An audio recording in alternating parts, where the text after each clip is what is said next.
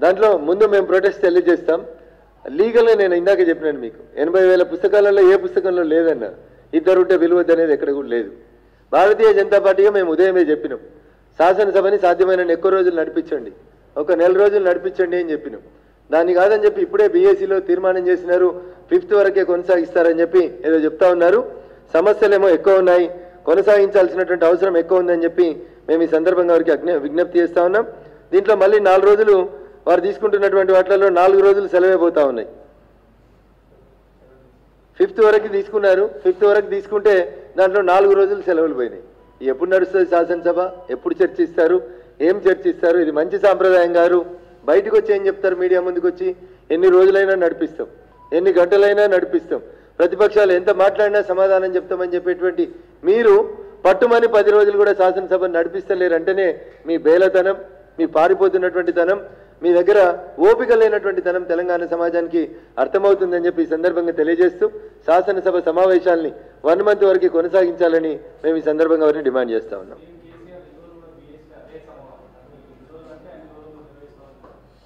ఇప్పుడు మీరు చూసిండ్రు గత బడ్జెట్ సెషన్లోనే బడ్జెట్ సమావేశాల్లోనే మేము ఎప్పుడు మాట్లాడినా మూడు నిమిషాలు దాటిన మరుక్షణం స్పీకర్ గారు బెల్ కొట్టడం మీకు ఇచ్చిన సమయం అయిపోయింది కూర్చోండి అని చెప్తా ఉన్నారు.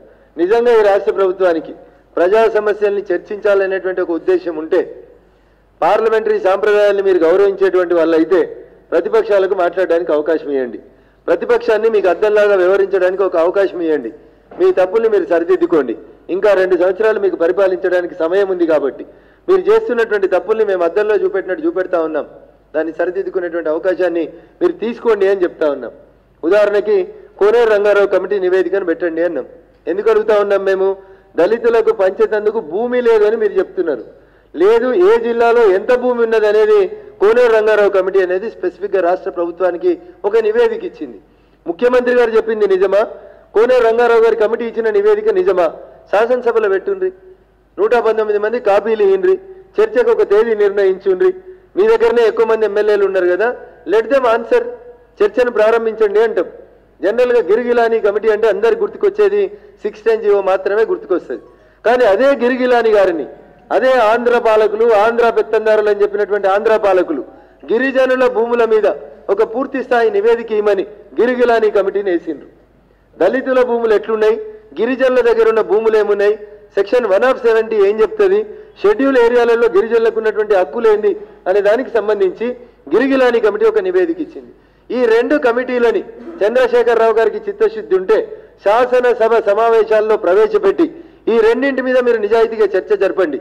దళితుల భూముల్ని మీరు లాక్కుంటున్నారా? దళితులకు ఇవ్వడానికి మన దగ్గర భూమి ఉన్నదా లేదా? గిరిజనులు పోడు భూముల సమస్య పరిష్కారం చేయడానికి మీకు అధికారం ఉందా లేదా? ఈ రెండు కమిటీలను మీరు శాసనసభ ముందుంచితే మేము ఎక్స్ప్లెయిన్ చేస్తామని చెప్పి ముఖ్యమంత్రి గారికి చెప్పదలుచుకున్నాం. ఈ రాష్ట్రంలో నిజంగా ఉన్నటువంటి సమస్యలు దళితుల సమస్య గిరిజనుల సమస్య నిరుద్యోగుల సమస్య రైతన్నుల సమస్య ఆర్థికంగా ముందున్నాం. జీడిపి పెరిగింది జిఎస్డిపి పెరిగిందని ఆర్థిక మంత్రి ఒక పక్కన చెప్తుంటే ఇరవై నాలుగో తారీఖు దాకా రెండు వేల పెన్షన్లు రాని మా అవ్వలు వికలాంగులైనటువంటి దివ్యాంగులైనటువంటి మా అన్నదమ్ముల సమస్యలు విడో పెన్షన్స్ ఇట్లాంటి కనీసం రెండు వేల పెన్షన్స్ అన్నటువంటి బడుగు బలహీన వర్గాలు.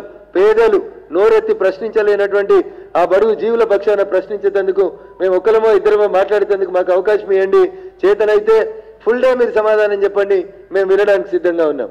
కానీ సమస్యల నుంచి పారిపోవద్దని ఈ రాష్ట్ర ప్రభుత్వానికి అప్పీల్ చేస్తా ఉన్నాం బీఏసీలో కేవలం ఐదు రోజులు అసెంబ్లీ నిర్వహించడానికి విపక్షం ఆ, కాంగ్రెస్ పార్టీ ఎక్కువ రోజులు ఆ, సభ నిర్వహించడానికి ఒత్తిడి చేయలేదు లేదా టీఆర్ఎస్ పార్టీ అక్కడ పై చేసి సాధించారు నేను అదే చెప్తా ఉన్నాను నేను మీకు. కాంగ్రెస్ టీఆర్ఎస్ నాణ్యానికి ఒకటి బొమ్మ అయితే ఇంకోటి బొరుసు. టీఆర్ఎస్ ఏం చెప్తే వీళ్ళు అది ఒకే అంటారు. అందుకనే వాళ్ళని బీఏసీకి పిలుస్తారు. మమ అనిపించుకుంటారు. ఇంకొక తోక పార్టీగా ఎంఐఎం పార్టీ ఉండనే ఉండే కదా వాళ్ళు ముగ్గురు కలిసి నిర్ణయం తీసుకుంటారు. నేను తిట్టినట్టు చేస్తాను నువ్వు కొట్టినట్టు చెయ్యి. నేను తిట్టినట్టు చేస్తాను నువ్వు ఏడ్చినట్టు చెయ్యి. ఇంతే నటన తప్ప ప్రజా సమస్యల గురించి బయట ఇన్ని దళిత దండోరాలు గిరిజన దండోరాలు పెట్టినామని చెప్తారు కదా Congress. Why can't they force the government to continue the legislature for one month ఒక్క రోజులో సమస్యల పరిష్కారం అవుతుందా? ఒక సబ్జెక్ట్ తీసుకుంటే నాలుగైదు రోజులు మాట్లాడడానికి అవకాశం ఉన్నటువంటి సబ్జెక్టులు ఉన్నాయి. ఏది దీనికి మీరు మాట్లాడకుండా? బీఎస్సీలో టీఆర్ఎస్ చెప్పిందనే ఒప్పుకొని మంత్రులు చెప్పిన దానికే బల్లలు దర్శి వస్తే మరి మీరు వాళ్ళు ఒకటని అనుకోవాలన్నా మీరు వాళ్ళు వేరు అనుకోవాలన్నా అనేది ప్రజలు ఆలోచించాలని చెప్పి ఈ సందర్భంగా తెలియజేస్తా ఉన్నాం. ఎనీథింగ్ ఎల్స్ అజయ్ అన్న?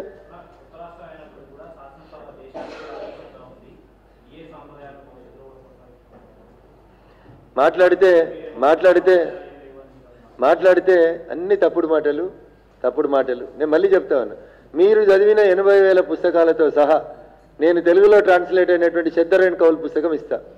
ఇద్దరు ఎమ్మెల్యేలు ఉంటే బీఏసీకి విలువద్దని ఎక్కడన్నా ఉంటే అయ్యా గౌరవ ముఖ్యమంత్రి చంద్రశేఖరరావు గారు మీకు ఆంగ్లంలో ప్రావీణ్యం ఉంది తెలుగులో ప్రావీణ్యం ఉంది ఉర్దూలో ప్రావీణ్యం ఉంది. మీకు నచ్చిన భాషలో మీకు నచ్చిన రీతిలో మీరు కాన్స్టిట్యూషన్ చదవండి. శద్దరైన కౌలు పుస్తకాన్ని చదవండి. భారత ప్రజాస్వామ్య స్ఫూర్తికి ఏ ఎమ్మెల్యేకైనా ఏ ఎంపీకైనా ఆదర్శంగా నిలిచే పుస్తకం Shakdher and Kaul. Practices and procedures of the constitution అని చెప్పి ఒక పెద్ద పుస్తకం ఉంటుంది.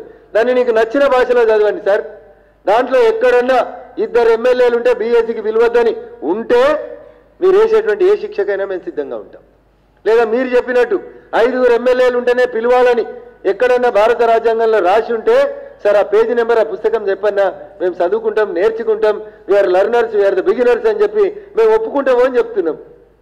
నాలుగు దశాబ్దాల నీ రాజకీయ జీవితంలో కమ్యూనిస్ట్ వాళ్ళు ఒక్కరు ఉన్నప్పుడు పిలిచినావు సిపిఐ వాళ్ళు ఉన్నప్పుడు పిలిచినావు జయప్రకాష్ నారాయణ గారు ఒక్కరుంటే పిలిచినావు బీజేపీ వాళ్ళు ఇద్దరుంటే ఉమ్మడి ఆంధ్రప్రదేశ్లో పిలిచిండ్రు. ఏళ్ళెందుకు పిలువరు అని అడుగుతున్నాం. వెర్ ఈస్ ద ట్రెడిషన్ ఏది దేశానికి నువ్వు చూపిస్తున్నటువంటి మార్గదర్శనం? ఒక పార్టీ గుర్తు మీద గెలిచి ఇంకొక పార్టీ క్యాబినెట్లో చేరినటువంటి తొలి రాష్ట్రం ఈ దేశంలో. తెలంగాణ రాష్ట్రం ఒప్పుకుంటాం సార్. సైకిల్ గుర్తు మీద గెలిచిన వాళ్ళు కారు గుర్తు క్యాబినెట్లో మంత్రులు ఉంటారు. ఇంత తప్పు ఈ దేశానికి స్వతంత్రం వచ్చినాక ఏ పొలిటికల్ పార్టీ చేయలేదు. ఎస్ మీరు మాత్రమే చేసిండ్రు. మీరు మాత్రమే చేయగలుగుతారు. మీరు మాత్రమే ఈ కొత్త సాంప్రదాయాల్ని సృష్టించగలుగుతారు. ఇంతకంటే గొప్పగా మీరు ఏమైనా చేస్తే భారత సాంప్రదాయాల్ని చరిత్రని రాజ్యాంగాన్ని చెప్తే మేము నేర్చుకుంటామంటున్నాం we are ready to learn sir దేనికి ఆదర్శం? అదే అంటున్నా ఇద్దరు ఎమ్మెల్యేలలో ఒకరిని బీఎస్సీకి పిలిస్తే మీ నిబంధనలకు ఏమైనా తూట్లు పడుస్తారా? మీకు ఏమైనా ఇబ్బందులు వస్తాయా? మా గొంతు వినబడొద్దా? మీరే చెప్తారు కదా కేంద్రంలో అధికారంలో ఉన్నావు పైసలు రఘునందన్. కేంద్రంలో అధికారంలో ఉన్నావు మా పెండింగ్ బిల్లులు ఇప్పి రఘునందన్. ఇలా సాయంత్రం పోతున్నావు కదా ఢిల్లీకి. ఎందుకు మరి? దేనికోసం పోతా ఉన్నావు? మిమ్మల్ని కూడా పిలుస్తున్నారు కదా ఢిల్లీ గౌరవిస్తుంది కదా. సింగిల్ డిజిట్లో నీకు ఎంపీ సీట్లు ఉన్నాయి కదా. ఐదు వందల నలభై ఐదులలో నువ్వు సింగిల్ డిజిటే కదా. మరి నిన్నెందుకు పిలవాలి? పిలుస్తున్నాం కదా మేము అయినా గౌరవిస్తా ఉన్నాం కదా ఆ సాంప్రదాయాన్ని మీరు కొనసాగించండి అని అడుగుతున్నాం. What is wrong with you అని అడుగుతా ఉన్నాం. ఏం ఆదర్శం అన్నా?